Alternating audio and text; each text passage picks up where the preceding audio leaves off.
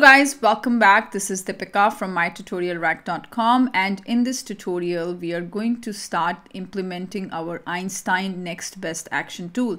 So for all the account records we want to display a recommendation and whenever a user accepts the recommendation a form should be displayed to them and an email should be sent to our shipping department once the form has been submitted by the user. So the first action that we are going to do is this step number one here. This is the one and which says create an action flow that executes when the gift basket recommendation is accepted. So assume the recommendation is accepted.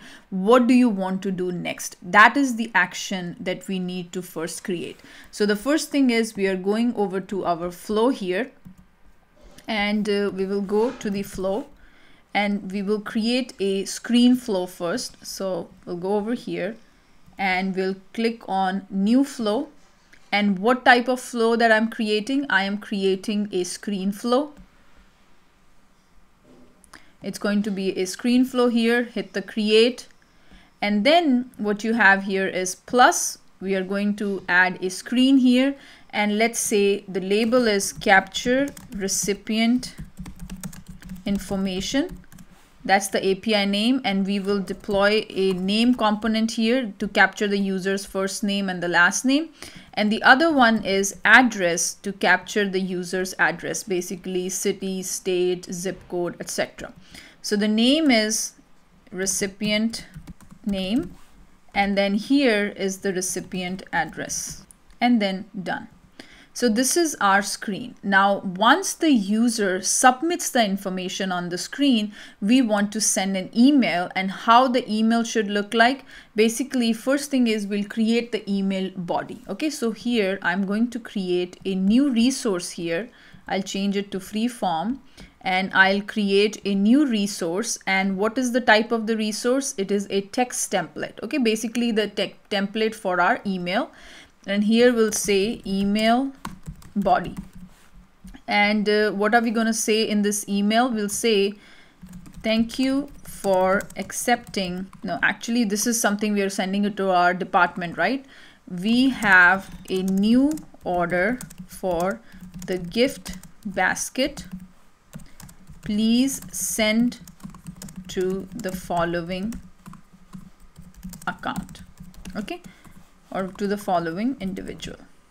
Let's say this is our email and I'm going to bold it here and the name is name is where it is whatever the user has entered in this field recipient name first name give some space and then the recipient last name which is this one so this is the name of the recipient and then what is the address and we have captured that address in this field called recipient address here. So the first thing is we will display the street.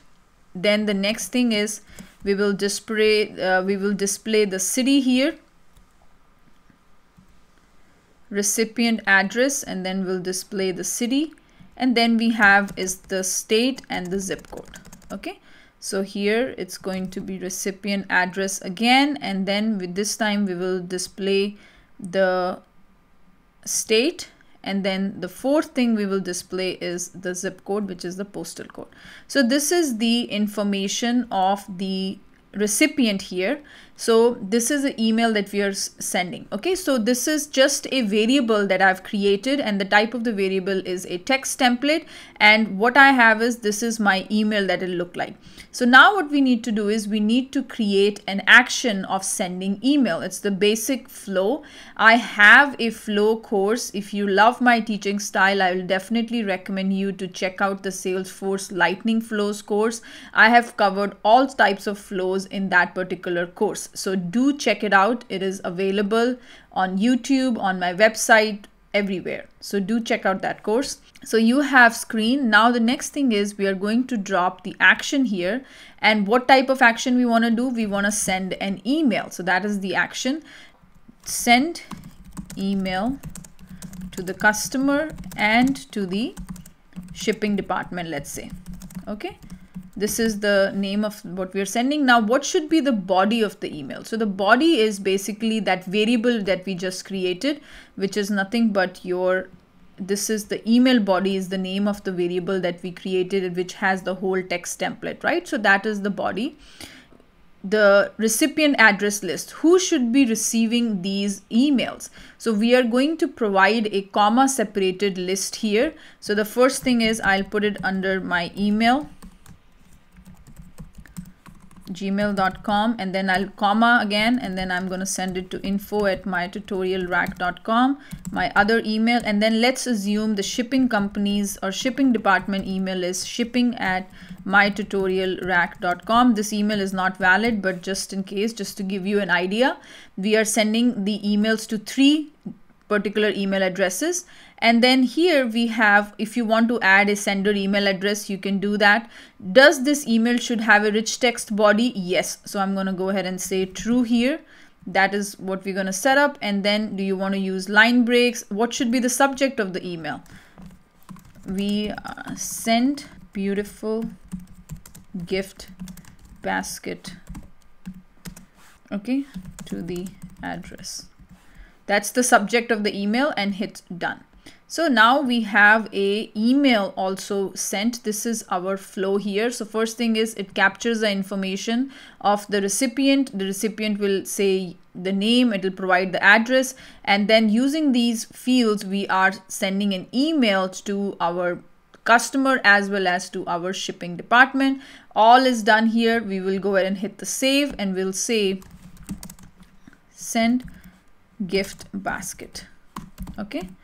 And that is the flow name hit save and we will activate this flow so step number one that we had we just finished it create an action flow that executes when the gift basket recommendation is accepted so we created that flow now the next step here is to create a recommendation that specifies how to present the gift basket offer. So now what we will do is we have to create a recommendation here. So there is an object in Salesforce called recommendation.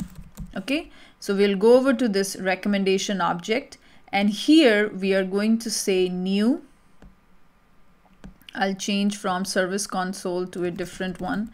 Let's go over to sales because I don't like the view of this one. Sales here and uh, then we will go over to the recommendation object and we'll create our recommendation. So here click new.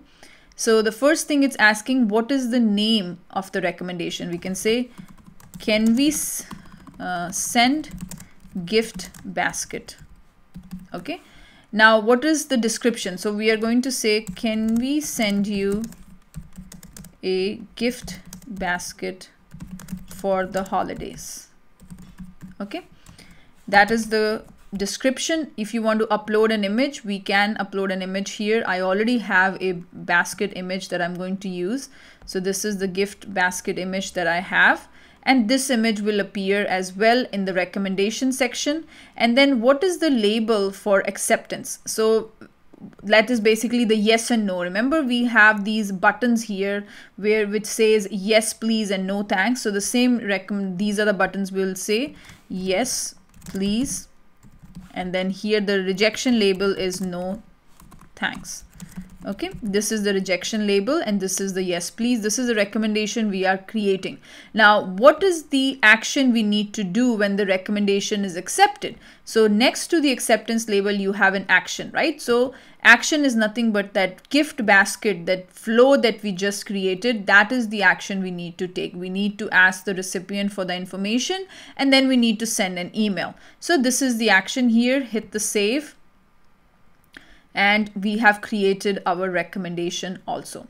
Now in the next tutorial, we are going to do the remaining two steps here, which is these ones, create a recommendation strategy flow, and then we will add the next best action component onto our account page. So I'll see you then. Thank you very much.